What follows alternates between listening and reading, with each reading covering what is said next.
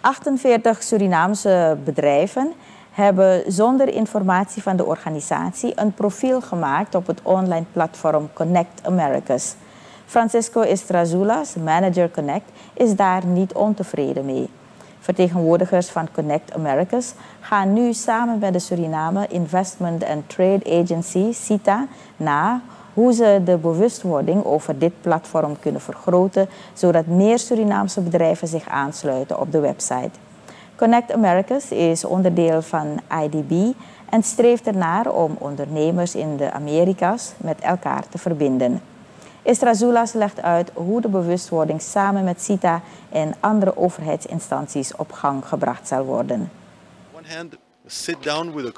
CITA to really try to create a, a work plan of you know areas and uh, to, of collaboration and things that we can do together, but also to connect with other government agencies and business organizations that can help us again spread the word and hopefully get more Surinamese companies on, on the platform. Estrazulas geeft ook aan dat er geen beperkingen zijn voor ondernemers uit verschillende sectoren. Het platform is dus open voor alle sectoren. Echter wijst hij erop dat bepaalde sectoren meer vertegenwoordigd zijn. Ook zijn er speciale programma's voor vrouwen op Connect Americas. So So the most represented sector is um, business services, so kind of consulting firms, business process outsourcing, those kinds of companies. Second is the food and beverages sector, and the third is the IT digital services uh, segments. Those are the three most represented. There's a section of Connect Americas called Connect Americas for Women, where we have on the one hand purchasing announcements from companies that are looking to source from women-owned or women-managed companies. We have a bunch of contents that are, you know, designed for that specific audience, you know, to help women entrepreneurs.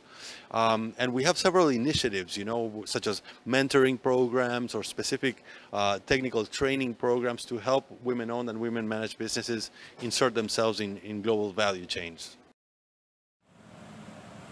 Estrazulas benadrukt dat Connect Americas een social media platform is om kleine en middelgrote ondernemingen te helpen importeren en exporteren. Ook kunnen mensen via de website fondsen aantrekken voor hun onderneming. Sinds gisteren is er een traject ingezet om de voordelen van Connect Americas met Surinamers te delen via de Surinaamse partner CITA.